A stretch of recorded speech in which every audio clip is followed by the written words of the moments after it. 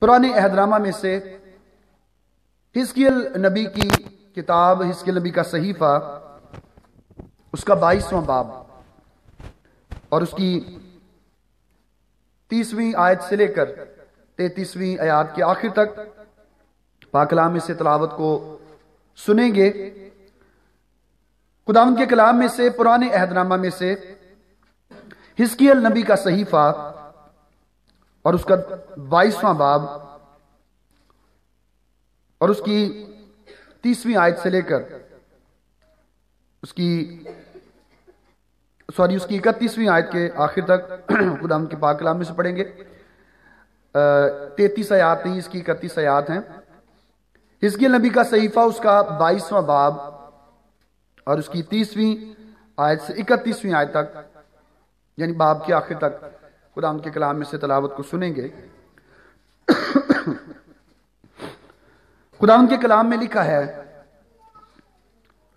میں نے ان کے درمیان تلاش کی کہ کوئی ایسا آدمی ملے جو فصیل بنائے اور اس سرزمین کے لیے اس کے رکھنا میں میرے سامنے کھڑا ہو تاکہ میں اسے ویران نہ کروں۔ پر کوئی نہ ملا۔ بس میں نے اپنا کہر ان پر نازل کیا اور اپنے غضب کی آگ سے ان کو فنا کر دیا اور میں ان کی روش کو انہی کے سروں پر لایا۔ خداون خدا فرماتا ہے۔ پاکلام کا پڑھا اور سنا جانا ہماری برکت کے لیے ہو۔ آمین۔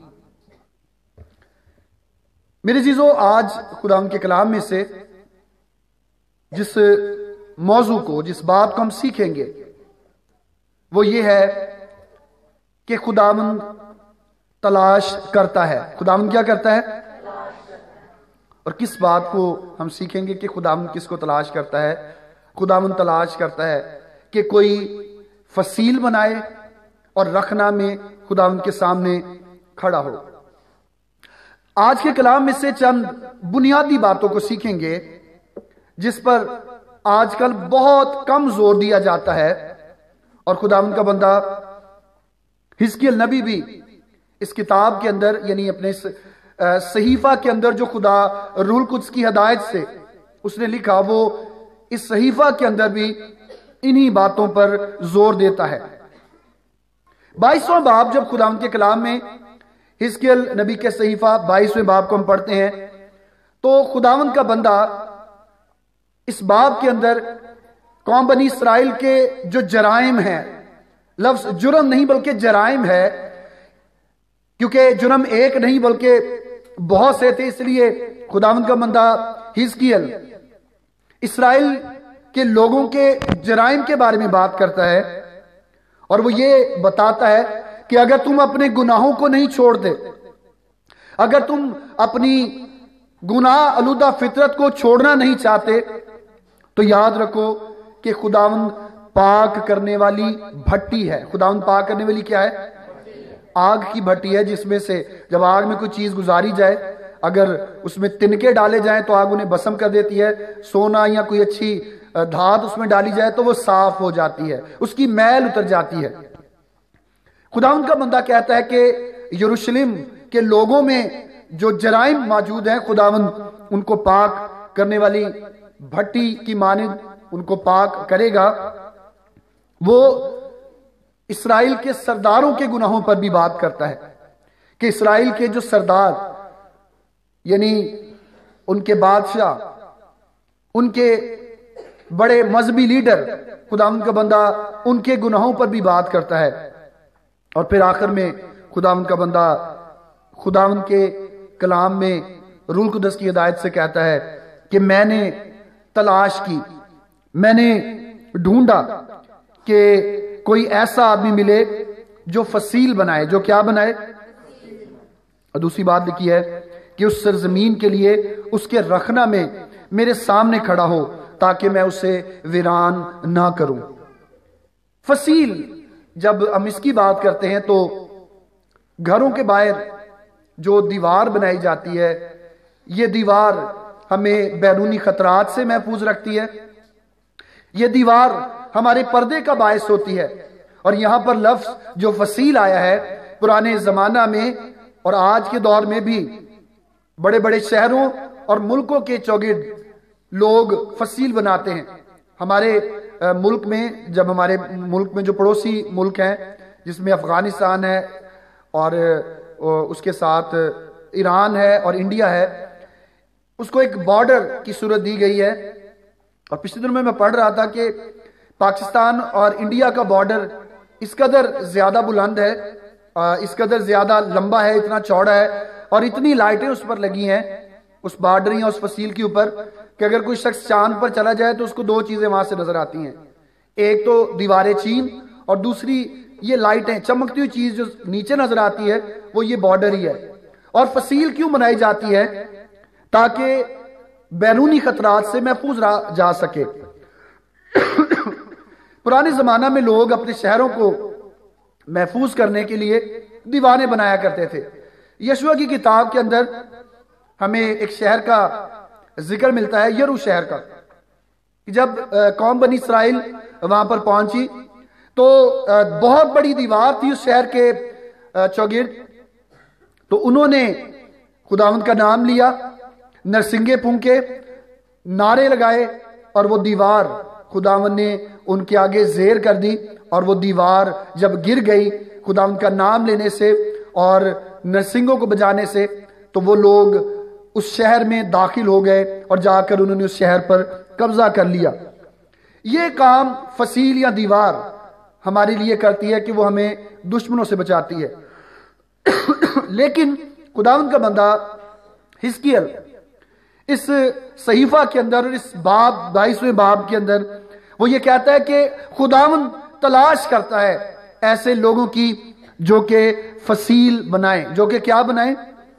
فصیل بنائیں اور خداون تلاش کرتا ہے کہ جو فصیل بنی ہوئی ہے اور اس میں جو رکھنا یا سوراخ ہو چکا ہے، کوئی شخص اس میں کھڑا ہو تاکہ خداون انہیں ہلاک نہ کرے۔ میرے عزیزو خداون کا بندہ خدا کے روح کی ہدایت سے اس بات کو بتاتا ہے کہ خداون چاہتا ہے کہ فصیل بنائی جائے۔ یہ فصیل، یہ دیوار جو ہے، یہ ہمیں بیرونی خطرات سے محفوظ رکھتی ہے اور ایک ایماندار کی زندگی میں سب سے بڑا بیرونی خطرہ جو آج کے دور میں ہے، وہ ابلیس ہے۔ وہ کون ہے جی؟ ابلیس جب وہ زندگیوں میں آتا ہے نقصان پہنچانے کے لیے تو وہ تب آتا ہے جب کسی زندگی کے چوگرد فصیل یا دیوار نہ ہو۔ اور یہ دیوار یہ دیوار جو ہے، یہ دعا کے وسیلہ سے اور خدا کی رفاقت کے وسیلہ سے میں ملتی ہے۔ اگر کوئی شخص یہ کہے کہ میں تو بڑا ایک مسیح گھر میں پیدا ہوا ہوں۔ میرے گھر میں تو ہر وقت شاید ٹیلی ویژن چلتا ہے جس پر ہر وقت خدا کی ستائش ہوتی رہتی ہے۔ یاد رکھیں وہ سب چیزیں آپ کو بچا نہیں سکتی جب تک آپ کا اپنا رشتہ خدا کے ساتھ مضبوط نہیں۔ اور جب آپ خود دعا کرتے ہیں، تو دعا کرنے کے وسیلہ سے آپ کے خاندان اور آپ کی زندگی کے گرد خدا مند ایک فصیل کو بنا دیتا ہے، ایک دیوار کو بنا دیتا ہے، جو کہ ابلیس کو آپ پر اور آپ کے خاندان پر حملہ کرنے سے روکتی ہے۔ خداون تلاش کرتا ہے۔ آج خداون زندگیوں میں آج خداون خاندانوں میں تلاش کرتا ہے کہ کوئی ایک ایسا ہو خاندان میں سے جو میرے نام کو لیتا ہو، کوئی ایک ہو جو دعا کرتا ہو۔ لیکن افسوس کا مقام یہ ہے کہ خاندانوں کے خاندان خداون سے دور ہیں۔ ہم دنیاوی کاموں کے لیے تو وقت نکالتے ہیں۔ ہم دنیاوی چیزوں کے لیے تو وقت نکالتے ہیں۔ رشتہ داروں کو ملنے کے لیے ہم چھٹی لے سکتے ہیں۔ لیکن خداون کے لیے خداون کے گھر میں آنے کے لیے ہمارے پاس وقت نہیں۔ اور ہوتا کیا ہے کہ جب یہ فصیل ہماری زندگی میں نہیں ہوتی، تو پھر ابلیس ہمیں شکار کر لیتا ہے۔ سب سے پہلی بات جس پر ہم غور کریں گے کہ خداون تلاش کرتا ہے، پہلی بات تو یہ کہ کوئی دیوار بنائے۔ ایک ایماندار کی زندگی میں یہ دیوار جو ہے، یہ دعاؤں کے وسیلہ سے بنتی ہے۔ اور دوسری بات جس کے لیے خداون تلاش کرتا ہے، وہ یہ کہ کوئی رکھنا میں میرے سامنے کھڑا ہو تاکہ میں اسے ویران نہ کروں۔ تاکہ میں کیا نہ کروں اسے؟ آج خاندانوں میں دعا گو زندگیاں بہت کم ہیں۔ جو اپنے خاندان کے لیے، جو اپنے بچوں کے لیے دعا کر سکے خدا ان کے کلام میں لکھا ہے کہ خدا ان کا بندہ ایوب نبی، وہ اپنے بچوں کو جمع کیا کرتا تھا۔ اور جمع کر کے وہ ان کے لیے قربانی گزرانتا تھا۔ اور کلام میں لکھا کہ قربانی کس بات کی گزرانتا تھا؟ کہ شاید میرے بچوں نے کوئی گناہ کیا ہو۔ شاید انہوں نے خداون کے خلاف کوئی بات کہی ہو۔ جب وہ قربانی گزرانتا تو وہ خداون سے منت کرتا کہ خداون میرے بچوں کے گناہ اور غلطی جو ہے، اسے تم معاف کرنا۔ میرے ساتھ نکالیے۔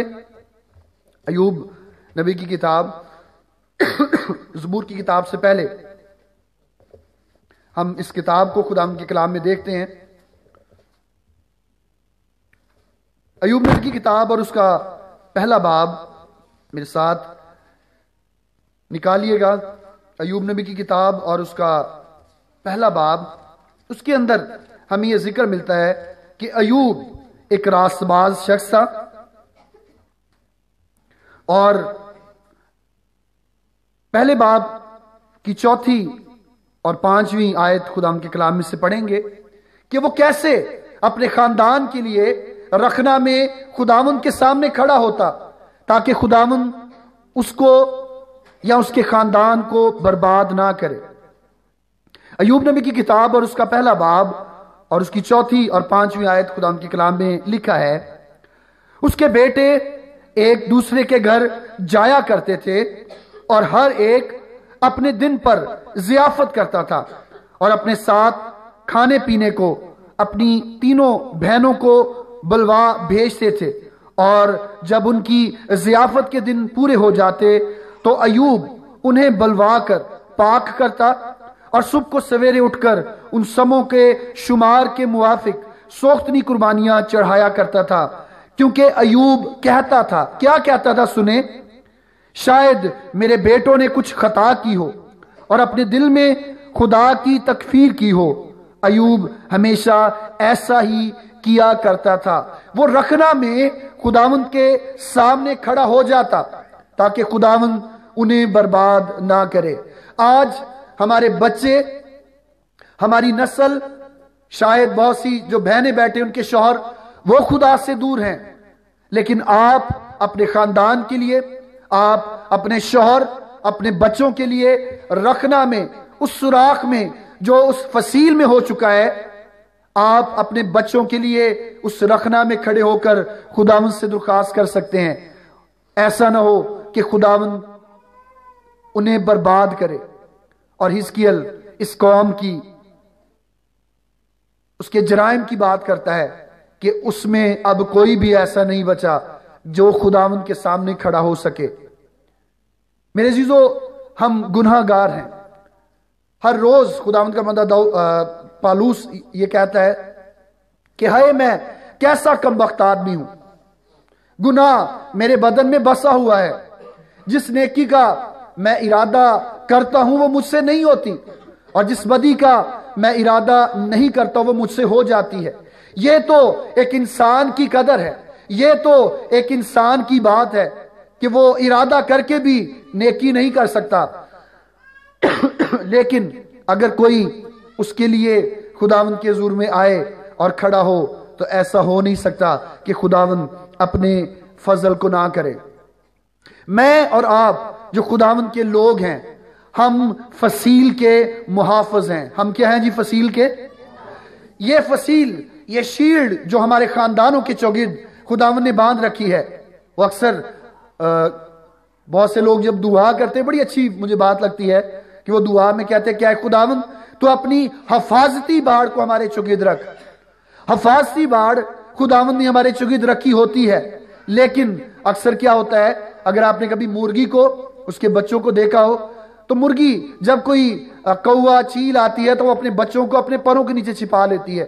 لیکن کچھ شرارتی بچے، چوزے ایسے بھی ہوتے ہیں جو اس کی پروں سے نکل کر باہر جاتے ہیں۔ اور پھر کیا ہوتا ہے؟ وہ پرندہ، وہ جانور انہیں اٹھا کر لے جاتا ہے۔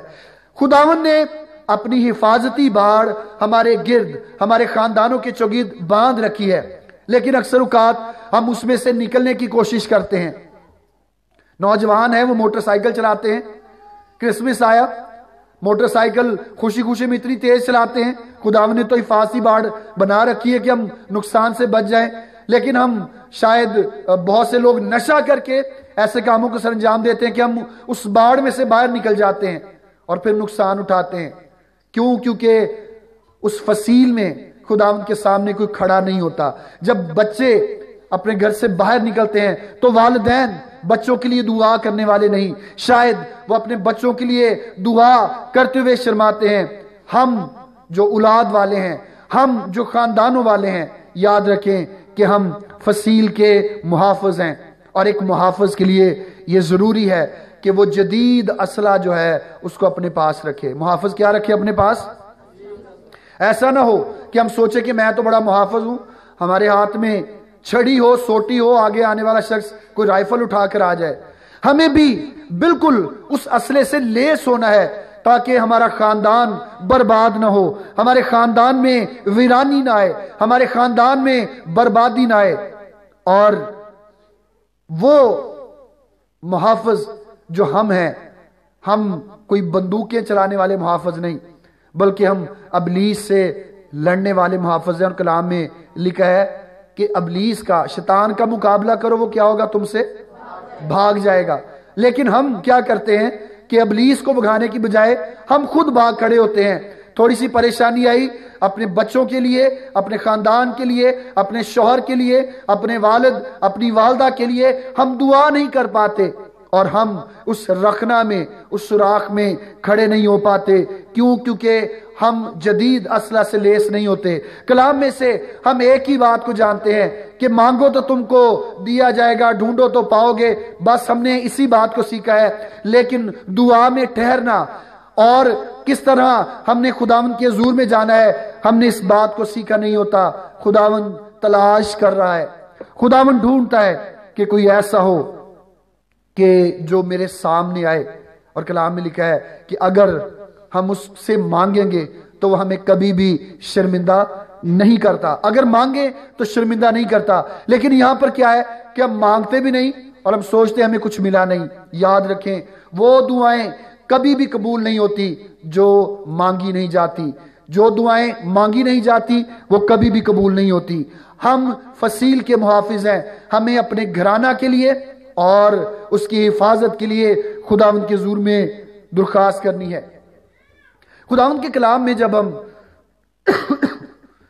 دانیل نبی کی کتاب کو پڑھتے ہیں نبوکت نظر بادشاہ کے شہر پر غور کرتے ہیں، یرو شہر جو یشوا کی کتاب میں جس کا ذکر ہے، یہ ایسے شہر تھے جن کے چوگرد فصیل یا دیوار بنی تھی۔ اور دیواریں اتنی موٹی تھی موٹی ہوا کرتی تھی کہ ایک وقت میں دو رتھ، ایک وقت میں کتنے؟ دو رتھ جو ہے وہ اس دیوار کے اوپر اکٹھے چل سکتے تھے۔ اتنی موٹی دیواریں وہ بنی ہوئی تھی یرو شہر کے لیے خداون کے کلام میں لکھا کہ جب لوگوں نے زوردار نعرے لگائے، انہوں نے خداون یہوا کا نام لیا، انہوں نے نرسنگے پھونکے، تو وہ اتنی موٹی دیوار جو ہے، وہ بھی ان کے سامنے گر گئی اور زیر ہو گئی۔ خداون کے کلام میں خداون کے نام میں اتنی طاقت ہے۔ اور نبوکت نظر بادشاہ، جب ہم بلت نظر بادشاہ کے شہر پر غور کرتے ہیں، تو اس کے شہر میں بھی جو دیوار تھی، وہ سمجھتا تھا کہ شاید کوئی بھی اس شہر کو فتح نہیں کر سکتا۔ کلام میں لکھا ہے کہ جب وہ اپنے خادموں کے ساتھ، اپنے وزیروں اور مشیروں کے ساتھ میں خاری کے اندر مصروف تھا، تو دیوار کے اندر وہ جگہ جہاں سے شہر میں پانی آتا تھا۔ دشمنوں نے اس جگہ سے ان پر حملہ کر دیا۔ ہم یہ نہ سوچیں کہ شاید میں صبح اٹھ کر دعا کرتا ہوں، کرتی ہوں اپنے بچوں کے لیے۔ بہت ہے۔ ہر وقت ان کے لیے دعا کرنے کی ضرورت ہے، کیونکہ خدا من ایسے لوگوں کی تلاش کرتا ہے جو فصیل کے محافظوں کے ابلیس آ کر اس فصیل کو توڑ کر ان لوگوں پر حملہ نہ کر دے۔ کیسے ہم فصیل کے اندر اچھے محافظ بن سکتے ہیں۔ خدا ان کے کلام میں اس بات کے لیے بھی بتایا گیا ہے، میرے ساتھ نکالیے گا۔ مقدس پالوس رسول کا افسیوں کے نام کا خط اور اس کا چھٹا باب۔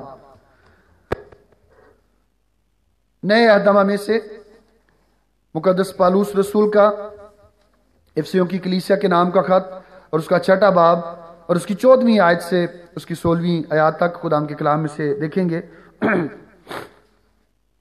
افسیوں چھ باب اس کی چودہ آیت سے سولہ آیت خدا کے کلام میں لکھا ہے پس سچائی سے اپنی کمر کس کر کیا کر کے سچائی سے اپنی کمر اور راست بازی کا بختر لگا کر اور پاؤں میں صلح کی خوشخبری کی تیاری کے جوتے پہن کر اور ان سب کے ساتھ ایمان کی سپر لگا کر قائم رہو جس سے تم اس شریر کے سب جلتے ہوئے تیروں کو بجھا سکو۔ اور سترویں آدمی پڑھنا چاہوں گا۔ اور ہر وقت اور ہر طرح سے روح میں دعا اور منت کرتے رہو اور اسی غرض سے جاگتے رہو کہ سب مقصوں کے واسطے بلا ناغا دعا کیا کرو۔ ایک اچھا محافظ جو ہے وہ ہر وقت جاگتا رہتا ہے۔ اسے یہ معلوم ہے کہ اس کے خاندان میں، اس کے کلیسیا میں اس کے گرانہ میں کیا پریشانی آنے والی ہے؟ وہ جاگنے والا شخص ہر وقت خدا سے دعا کرتا رہتا ہے اور اس کے دعا کرنے اور جاگنے کے وسیلہ سے ابلیس خاندان پر حملہ نہیں کر پاتا۔ سب سے پہلی بات جو خدا ان کے کلام میں لکھی ہے کہ سچائی سے اپنی کمر کس کر۔ سچائی سے کیا کر کے اپنی کمر؟ کس کر۔ فوجیوں میں جب یونیفارم وہ پہنتے ہیں، تو یونیفارم میں ان کی شرٹ ہوتی ہے اور ان کی پینٹ ہوتی ہے۔ بھائی سمسون، پینٹ کے اوپر کیا پہنتے ہیں؟ بیلٹ پہنتے ہیں۔ اور اگر فوجی بیلٹ نہیں پہنے گا، تو وہ رائفل اٹھا کر بھاگ نہیں سکتا، کیونکہ شاید اس کی جو پینٹ ہے وہ گر جائے گی۔ اور شاید وہ دشمن پر حملہ نہیں کر سکے گا۔ اور اسی طرح ایک ایماندار ہوتے ہوئے اگر ہم فصیل کی محافظت کرنا چاہتے ہیں، جو ہمارے خاندان کے چوگد باڑ بنی ہے، ہمیں اپنی کمر کو سچائی سے کسنا ہے۔ کس سے کسنا ہے؟ یہ بیلٹ جس کو ہم نے روحانی طور پر پہننا ہے، یہ سچائی ہونی چاہیے۔ اور ایک ہی سچ ہے، اور وہ سچ یسو مسیح اور کلام میں لکھا ہے۔ مسیح یسو نے کہا، راحق اور زندگی کون ہے؟ میں ہوں۔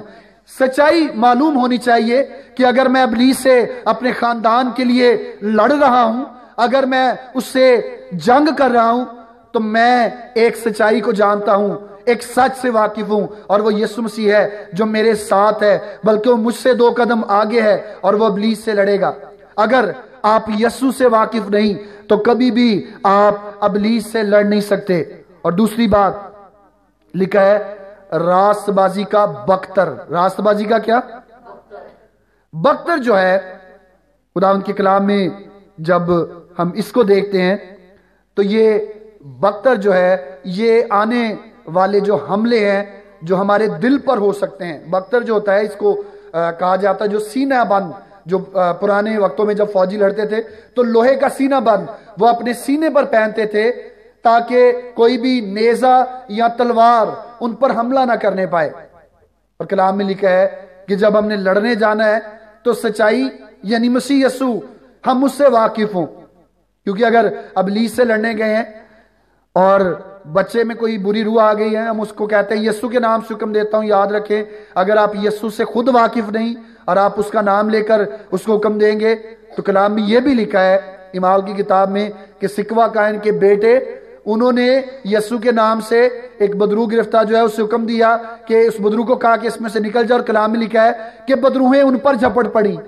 انہوں نے کہا، ہم پترس کو بھی جانتے ہیں، ہم پالوس سے بھی واقف ہے تم کون ہو؟ اور کلام میں لکھا ہے، کیونکہ وہ یسو سے واقف نہیں تھے یسو کا نام انہوں نے لیا، کلام میں لکھا ہے، ان بدروہوں نے انہیں ادموا کر دیا اور ننگا کر دیا، کیونکہ وہ سچائی سے واقف نہیں تھے۔ اگر ہم اپنے خاندان کی حفاظت کرنا چاہتے ہیں ابلی سے، تو ہم خود یسو سے اور سچائی سے واقف ہوں۔ اور دوسری بات یہ کہ راست باز بھی ہوں۔ کیا ہوں جی دوسری بات؟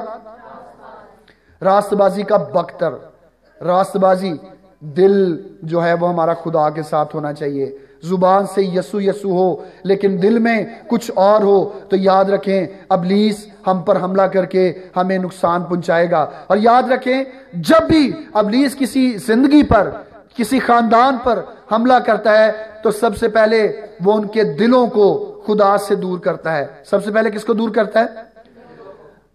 لوگ کی کہنے دل نہیں کرتا پا سب چرچا راست بازی جب ہم اس کو نہیں اپنائے ہوئے ہوتے تو ابلیس ہمارے دلوں کو کلام میں لکھا کہ دل سب چیزوں سے زیادہ ہیلا باز ہے۔ کبھی کپڑے صاف نہیں تھے، کبھی کپڑے استری نہیں تھے، کبھی دل نہیں کیا کبھی نیند پوری نہیں ہوئی، کبھی کام کرنے۔ ہیں یہ سب چیزیں دل میں سے نکلتی ہیں اور دماغ کے ذریعہ سے ہمارے جسم کو کنٹرول کرتی ہیں۔ کلام میں لکھا ہے، اور راست بازی کا بختر لگا لیں تاکہ ابلیس آپ کے اور میرے دل پر حملہ نہ کرے۔ یہ نہ ہو کہ دوسروں کے لیے دعا کرنے جائیں اور خود خدا کا انکار کر کے اپنے گھر واپس آ جائیں۔ تیسری بات، پاؤں میں صلح کی خوشخبری کی تیاری کے جوتے پہن کر۔ کیا پہن کر جی؟ اب بھائی سمسون ہی بیٹھے ہیں، فوجی ہیں وہ۔ بھائی کہیں گے، آج میں آ گیا بھائی سب سب کچھ میرے کو پوچھنے دینے بھائی ایک بڑی اہم چیز ہوتی ہے یونیفارم میں۔ کیا ہوتا ہے وہ؟ لمبے لمبے بوٹ۔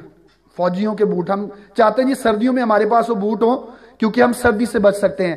جب ایک فوجی یونیفارم میں ہو اور اس کے پاؤں میں جوتے نہ ہو تو وہ پر خطر راستوں میں جا نہیں سکتا۔ جب ہم اپنے خاندان کے لیے خداون کے سامنے جاتے ہیں کہ خداون میرے ساتھ ہو، میں نے ابلیس کا مقابلہ کرنا ہے، تو ہماری زندگی میں یہ چیز بھی موجود ہونی چاہیے کہ ہمارے قدم بری راہ پر نہ جائیں، ہمارے قدم محفوظ رہیں۔ کلام میں لکھا ہے کہ صلح کی خوشخبری کے جوتے، کون سی؟ صلح کی خوشخبری کے جوتے۔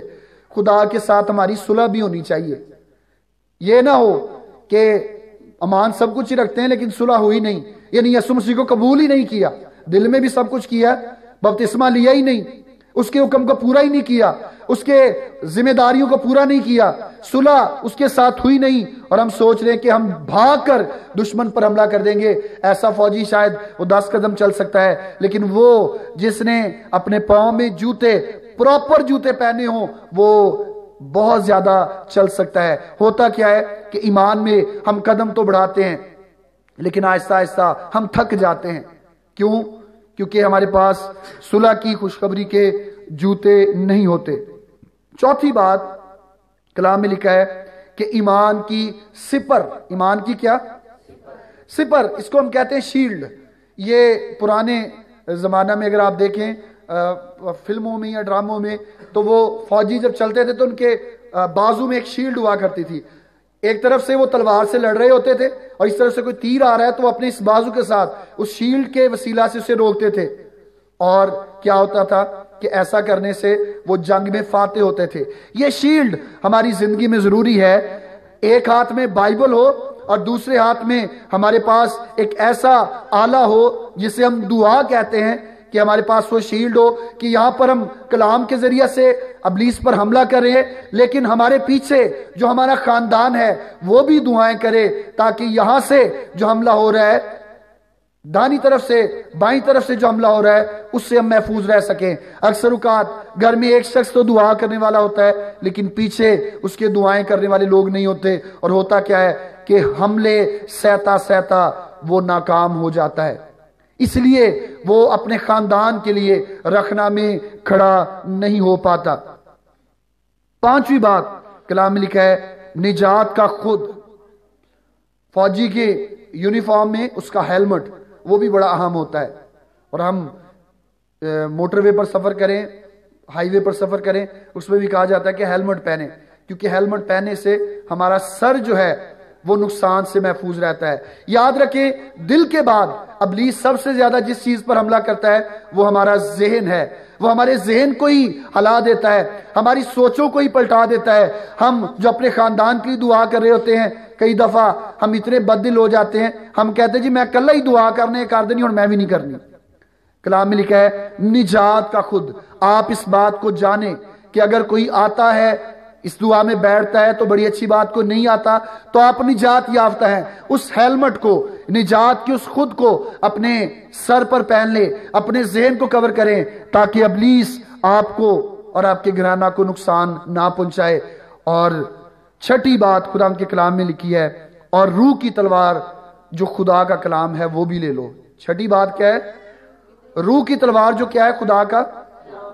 سب کچھ ہو۔ اور اس کے ساتھ کلام نہ ہو اور کلام کے مطابق نہ ہو تو پھر گھرانے کے گرد جو حفاظ تھی، واڑ لگی ہے، وہ بھی گر جائے گی اور ابلیس بھی حملہ کر دے گا۔ یہی کوشش ایوب نبی کے واقعے میں ملتی ہے کہ ابلیس نے کی۔ اس نے خداون سے کہا کہ وہ ایسے ہی ایماندار نہیں۔ اے خداون تو نے اپنی باڑ، حفاظت کی باڑ جو ہے اس کے چگد قائم کر رکھی ہے۔ اگر تو اس کو ہٹا دے تو وہ تیری تکفیر کرے گا۔ کلام میں لکھا خدا نے باڑ ہٹا دی۔ کیا کی؟ اور کہا، جا، تجھے اجازت ہے، جا کر جو مرضی کر لے۔ لیکن اس کی زبان کو نقصان نہیں پہنچانا۔ اس کے بچے مر گئے۔ اس کی بیوی جو ہے، وہ بھی کہہ رہی ہے، خدا کی تکفیر کر، مال مویشی، گھر بار، سب کچھ لٹ گیا۔ جسم پھوڑوں سے بڑھ گیا۔ باڑ ہٹ گئی۔ لیکن جو کلام دل میں تھا، جو روح کی تلوار اس کے پاس تھی جب بیوی نے کہا کہ اب تیرے پاس کچھ نہیں بچا، خدا کی تکفیر اور کر، اور کیا کر جا مر جا۔ تو اس نے کہا کہ کیا؟ میں خدا کے ہاتھ سے سکھ پاؤں اور دکھ نہ پاؤں۔ یہ باتیں ہمیں خدا ان کے کلام سے سن، سننے اور سیکھنے کو ملتی ہیں۔ جو روح کی تلوار ہے کہ اگر خدا میں رہتے ہوئے سکھ ہیں، تو پھر دکھ بھی ہیں۔ اور پھر اس نے یہ کہا، بڑی خوبصورت آیت ہے۔ جب اس کے بچے مر گئے کہ خدا نے دیا خدا نے لیا، اس کا نام کیا ہو؟ یہ بات ہمیں خدا کے کلام سے سیکھنے کو ملتی ہے۔ اور ساتویں اور آخری بات جو افسیوں کے خط کے اندر لکھی ہے کہ روح میں دعا اور منت بھی کرتے رہو۔ کیا کرتے ہیں روح میں؟ صرف یہ نہیں کہ جب ابلیس کے ساتھ سامنا ہو جائے، جب بچے کا خدا نہ خاصہ کوئی نقصان ہو جائے، جب گھر میں کوئی پریشانی آ جائے ادو ہی دعا کرنی ہے۔ ہر وقت کلام لکھا ہے کہ روح میں دعا اور منت کرتے رہو اور جاگتے رہو۔ سب مقدسوں کے واسطے بلا ناگا کیا کیا کرو؟ دعا کیا کرو۔ پھر ہم فصیل کو بنانے والے اور اس کو قائم کرنے والے ہوں گے اور رکھنا میں ہم کھڑے ہو سکیں گے۔ یہ رکھنا جو ہے، یہ ابلیس کو ہمارے خاندان میں آنے کا موقع دیتا ہے۔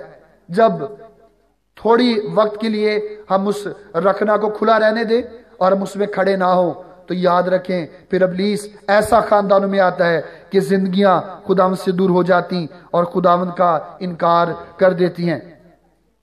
اگر ایک ایماندار ہوتے ہوئے ہم دعا گو ہیں، بڑی اچھی بات ہے۔ اکثر لوگ دعا بہت زیادہ کرتے ہیں، لیکن کلام نہیں پڑھتے۔ کلام اگر آپ نہیں پڑھیں گے تو میرے جیزو یاد رکھیں، آپ ابلیس پر حملہ نہیں کر سکیں گے۔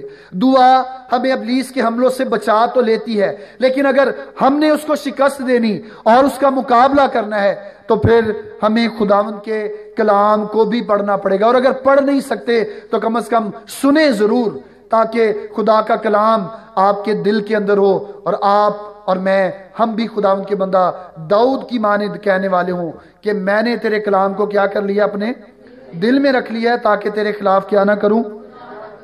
ناز کرتے ہیں۔ ہم فخر کرتے ہیں۔ خادمین اس میں شامل ہے سب سے زیادہ کہ میں نے اتنے لوگوں کو بپتسمے دے دیے۔ میں نے اتنے لوگوں کو بچا لیا۔ اتنے لوگ میرے وسیلہ سے مسیح کے پاس آ گئے۔ لیکن اپنا خاندان جو ہے وہ خدا سے دور ہوتا ہے۔ وجہ کیا؟ کہ ہم دوسروں کے لیے تو برکت کا باعث ہوتے ہیں، لیکن اپنے خاندان کے لیے فصیل ہم تعمیر نہیں کر رہے ہوتے۔ ہم اس رکھنا میں جو فصیل میں پڑ چکا ہوتا ہے، ہم اس میں کھڑے نہیں ہوتے۔ ہمیں جاگتے رہنے کی اور الرٹ رہنے کی ضرورت ہے، کیونکہ جب ہم خدا کے گھر میں آتے ہیں، ہم خادمین ایلڈ سبان ایماندار، جس قدر زیادہ ہم خدا کے گھر میں آئیں گے یاد رکھیں، ابلیس اس قدر زیادہ ہمارے خاندان پر حملے کرے گا تاکہ وہ ہماری طاقت کو کام کر سکے، تاکہ وہ ہمیں ایمان میں کمزور کر سکے، لیکن ہمیں اپنے خاندان کے لیے فصیل میں، رکھنا میں خداون کے سامنے کھڑا ہونا ہے، تاکہ خداون ویرانی کو نہ لے کر آئے، تاکہ خداون اپنے قہر کو نازل نہ کرے۔ اور کلام میں لکھا ہے خداون کہتا ہے، میں ان کی روش کو، میں کن کو؟ ان کی روش کہتے ہیں، عادت کو۔